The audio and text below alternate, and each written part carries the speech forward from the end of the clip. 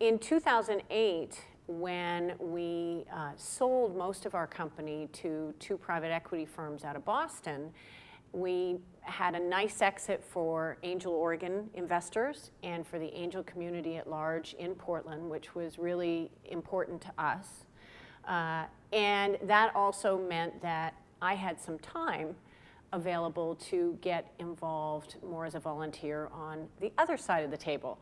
So I went into OEN and I said, I've got some time. And Linda Weston, who is just a, a rock star at OEN, uh, basically said, fabulous, let's put you to work. And I immediately got involved as an investor with Angel Oregon for my first year.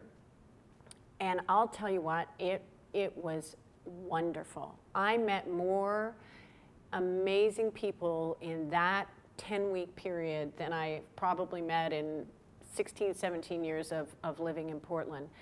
Amazing group of investors coming from such a diverse uh, set of backgrounds and, and experiences, companies from all different sectors of the economy doing some amazingly brilliant things and just with so much passion and enthusiasm.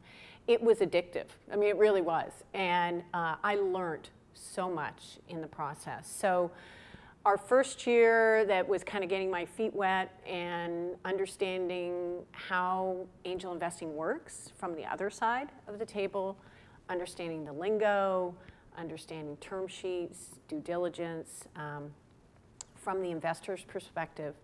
And then the next year, I was asked to uh, be the vice chair and work with Jim Houston, who was the chair uh, uh, last year, and then uh, this year i am able to actually take on the chair role, which is, um, is, is really exciting. I mean, it's just amazing to see that it's truly gone full circle.